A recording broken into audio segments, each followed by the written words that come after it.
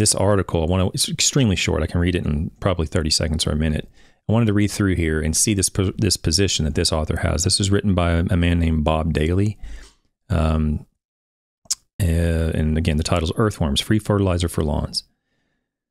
Um, it, uh, there's a quote here he has at the beginning. It may be doubted that there are many other animals which have played so important a part in the history of the world as have these lowly organized creatures. I don't know who made that quote. I guess that's Charles Dar- Darwin. He has a Charles Darwin quote here. Um, so the article starts The best method to judge the health of the soil beneath a lawn is to discover how many earthworms are present. So, right from the beginning, he's going to assume that the number of earthworms in the lawn is directly related to the health of the soil, which, again, I'm not going to argue that. I'm just going to point out his, his position. Earthworms can restore the hard pan of a compacted dirt so pre- Earthworms can restore the hard pan of compacted dirt so prevalent in lawns. Uh, I, have, I have no idea if that's true or not but he's making a claim there. Their, their castings are rich in nutrients, nitrogen, phosphorus, and potassium, three major elements necessary for plant growth and photosynthesis.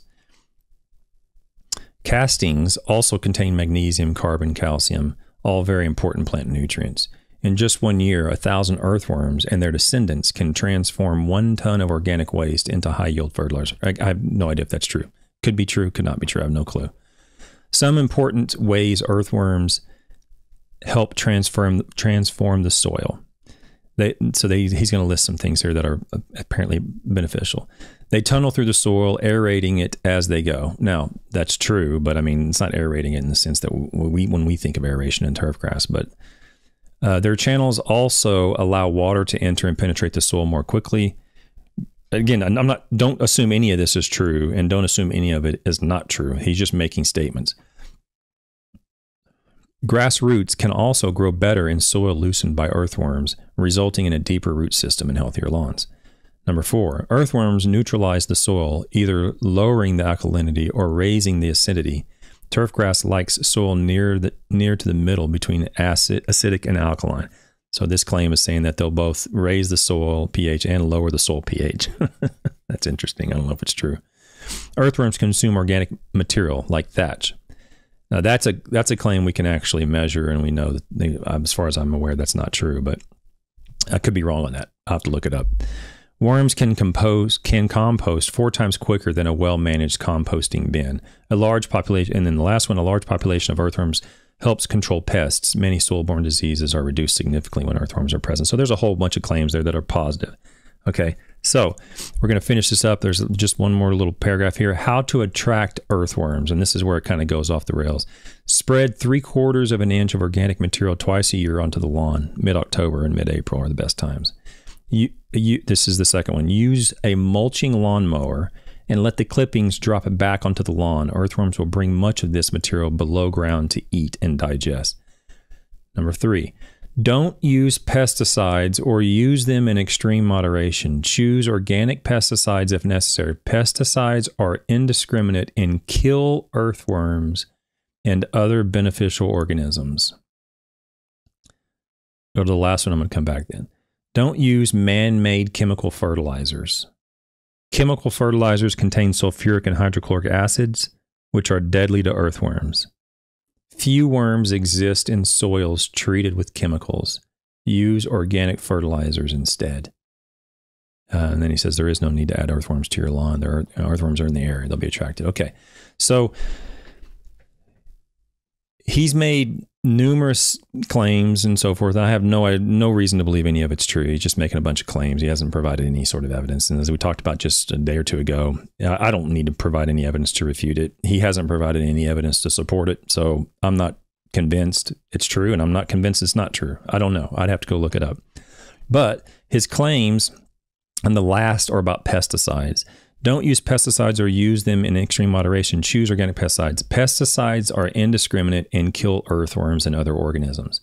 Now, if you're in turf grass, particularly if you're in sport turf or if you're in golf or sod, lawn care is a little different because they have a little bit higher cut grass and it's a little less of an issue. But you know, if you're in those uh, tight cut grasses of 500 or below, that earthworms in some in some instances can be devastating to uh, the surface playability because they'll the, the castings are are a nuisance for ball roll, for footing, for just the looks, for mowing. It's awful. So in in turf grass, we are often trying to find ways, um, safe ways, to control the population of earthworms because it's so great in many cases, even when we're applying uh, herbicides, for example, or even insecticides, for example. We're applying you know pesticides to control pests in some cases, and even in those cases, earthworms will still thrive. So the turf grass system in many locations are is really a garden um, made to grow earthworms, even in the presence of pesticides. We're all very familiar with this. Okay, when he says don't use man-made chemical fertilizers, um, you know, basically he's saying synthetic fertilizers, and he's he's arguing that synthetic fertilizers are deadly. Hydrochloric acids and sulfuric acids are are deadly to earthworms. Now, again, I'd have to go look it up to find evidence. I don't need to find evidence. All I know, all I all I can tell you is there's no reason to believe it. But his position is this is true. Okay. Fertilizers kill earthworms, kill, um, pesticides kill earthworms. Let's just assume, for the sake of discussion tonight, that all of that is true. Okay. Let's go to another article. Now, if you're on Twitter at all, you you've probably come across probably the single-handedly most viewed turf video in the history of turf videos came out about a month ago from assistant superintendent over in Arizona. Her video on Twitter has been viewed 33 million times. I think her name is M. Oh, let me look it up. Um, I don't. I didn't have Twitter pulled up to look at it. I can't. Where is it at? It's EM. Oh, there it was. I had it. EM Casey, M Casey. So it's at EMK, EMKC with a C, turf. And uh, I looked at it, so it's still at 33 million. Okay. So that video was viewed so many times, CNN picked it up. So CNN, I'm going to fix this real quick because I had it fixed earlier. Now I, I moved everything. CNN picked up um, Miss, I guess her name's Miss Casey. I don't, I don't know her, her actual her real name is. Um, I'm going to make this a little bit easier to read for you guys.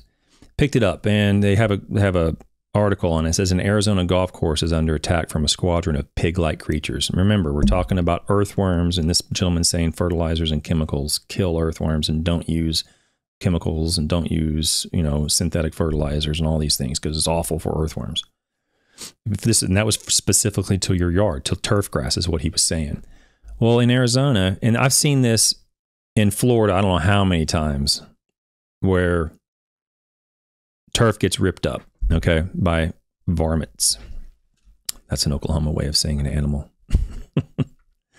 okay, so here you can see a photo. For those listening, I'm showing a photo of a fairway. Um, of where was the what was the art? Where was the at the Arizona Sunshine seven canyons in the morning. Okay, so it's I guess it's Seven Canyons Country Club. I thought I, I, thought they had it listed here real quick early on, but I don't see it. Anyway, showing a fairway, beautiful fairway, beautiful golf course, some mountains in the background, nice sky, and turf is just ripped up out of this fairway. Now, on her video on Twitter, she shows acres and acres and acres in the rough, in the fairway, on tees, everywhere. Turf is just tore up bad. Okay, so let's read through this and see what, what's going on. Um, growling, crackling teeth, the rumble of hooves. As night falls on one of the United States' most scenic golf clubs, sinister noises reverberate off the Red Rock Canyon walls. And when the Arizona sunshine breaks over seven canyons in the morning, destruction is revealed. Sprawling mounds of ravaged turf blot the 7,000 yard course like open wounds, soil and grass strewn in all directions across otherwise pristine fairways. The perpetrators, Javelina, a pig like creature with raking canine teeth whose capacity for chaos is in the town of Sedona, has seen them become a viral sensation. When you come upon them and see them, it's like the Tasmanian devil, Seven Canyons General Manager Dave Bisbee told CNN. There's turf flying all over the place. There's grunting. There's fighting. For rather small creatures, they do a lot of damage. They can rototill some turf with those teeth. It is really disturbing when you see it. Okay. So, and they have a picture here of one of these. It's just like a little hog, is what it looks like. I don't know if it's technically a hog, but it looks like a little hog.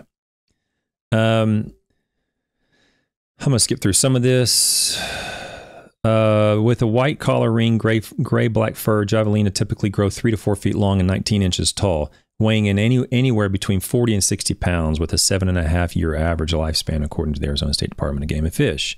Common to the desert areas, yet adaptable to range and ha- uh, to a range of habitats, they have predominantly herb- herbivorous diet of cacti, bulbs, and other plants, but will also eat garbage, insects, and fatefully, for Seven Canyon staff, worms. Okay. So, located at the base of Vermilion Cliffs and encircled by the Co- Coconino National Forest, the private course, with its nutrient rich fairways and bountiful water hazards, presents an irresistible all you can eat and drink buffet for species looking to fatten up for the winter. Earthworms, wriggling in the top few inches of grass, are a particular delicacy for the javelina, which are not strictly nocturnal but all are most active at dark.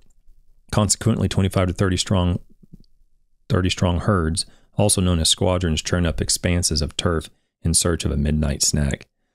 Okay, so they go on through here. They show that they show the course. An aerial photo of the course without the damage, and um, they talk about you know the various things about the javelina and so forth. But basically, and they talk about the cost, several hundred thousand dollars in damage. There's a photo of, of one fairway. It looks like yeah, it's a fairway here. Real, you know, huge damage, lots and lots of damage to this uh, turf grass, which is unfortunate. I mean, you know, I, I, I get that. Um, it's it's not it's not going to be easy to replace that. You're going to it's probably going to have to be resodded. They're talking hundreds of thousands of dollars in repair and labor and all these things. Okay, but that's that's not what I want. The point was, oh, her name is Emily Casey. Okay, the lady who posted the, the video is called. Her name is Emily Casey. Apologize to her if she's listening to this that I miss I misspoke about your name.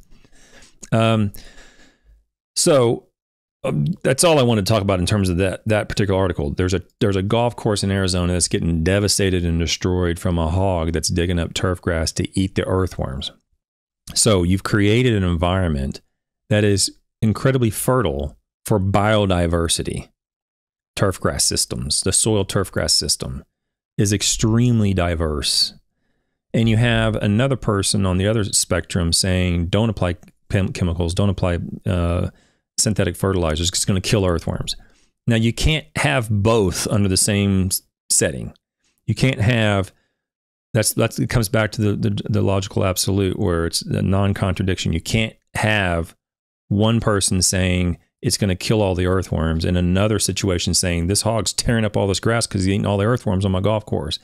And I'm assuming they're applying fertilizer under BMPs and they're following the proper best management practices, which is in, which includes IPM and some pesticide usage and so forth like that. I'm assuming all that's the case. May not be true, but I'm assuming they're applying some fertilizer and they're applying some pesticides.